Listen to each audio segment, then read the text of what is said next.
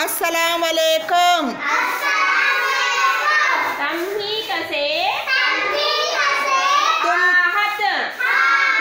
तुम कैसे हो?